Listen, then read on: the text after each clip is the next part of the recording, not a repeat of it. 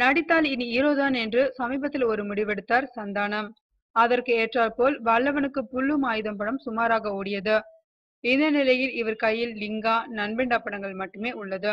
தன் நண்பர்களே தன்னை ஒதுக்கிவிட்டார்கள் என்று சோகத்தின் உச்சத்தில் இருந்தார் சந்தானம். தற்போது தமக்கு ஹீரோ வேஷம் எல்லாம் வேண்டாம்.